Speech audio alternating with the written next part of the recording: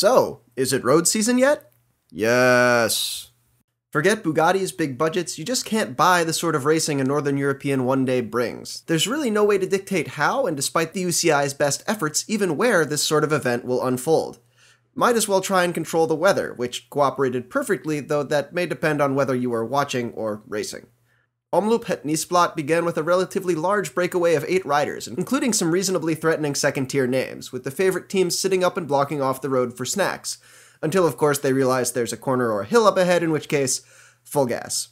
Lotto Belisol's Lars Bak made the first probing move up the Kruisberg at 70k to go, and FDJ's Johan Le Bon made another sortie over the Donderijs cobbles a few k later. But it was Belkin's Sep Vanmarcke, the winner in 2012, who made the first big attack on the Taaienberg, historically Tom Boonen's favorite launchpad.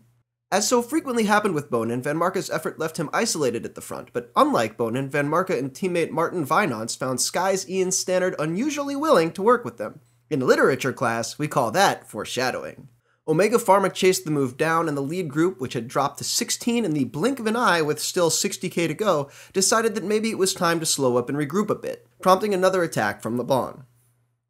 Omega Pharma's Matteo Trentin bridged across just before the Eikenberg so that Omega Pharma wouldn't have to chase, prompting Belkin and Stannard to reel them both back in.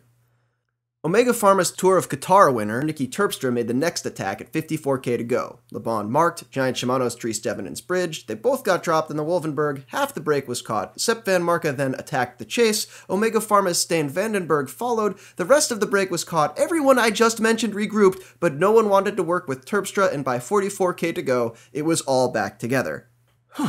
okay. On the Leberg, 2K later, BMC's Greg Van Avermaet made his first appearance, though since he had only one glove on, I can only imagine that he hadn't had an easy time of it during the previous 10K's fireworks. A series of tight corners just afterwards at 41k to go saw a group of seven escape, including two FDJ riders, but Yoann Offredo slid out 4k later at the foot of the day's final climb, the Molenberg. Terpstra used the climb to attack, Belkin's Lars Boom kept him in sight, but the two Dutchmen couldn't cooperate, letting five of the previous seven escapees regroup over the next few K.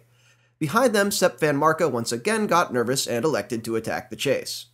On the Lippenhovestraat cobbles at 28k to go, Terpstra attacked again, this time into a bank of motorcycles, much to the chagrin of this wildly gesticulating official. The effort left only Boom and Sky's Edvald Boasson Hagen in touch, but after the Belkin rider flatted, it was Terpstra's turn to refuse to pitch in. The Sky Rider attacked a few K later, and Terpstra proved himself awfully short memoried about the whole motorbikes thing. Eventually, he closed the gap, refused to work, vented some more anger, and at 16k to go, BMC's Taylor Phinney brought everything back together. Sky's Ian Stannard attacked almost immediately, slipping neatly around the outside of this Garmin rider, marked by Phinney's teammate Van Avermaet, and after a small but not remarkable amount of moto help, the duo was clear. Behind them, Vanmarcke attacked the chase one last time, forming a second group with Terpstra and Boasson Hagen. But despite the Omega Pharma riders' best cooperation of the day, the leaders would only dangle tantalizingly in front of him. Stannard led under the red kite, and Van Avermaet came around a few hundred meters later. With Stannard's teammate Boasson Hagen the likely winner, if they're caught, he really doesn't have a choice. Stannard is generally a bad enough sprinter that this isn't a problem, but he plays it very well here, hanging to the barrier side of Van Avermaet, waiting for him to check back, and then immediately jumping the other way, a surprisingly long distance from the line.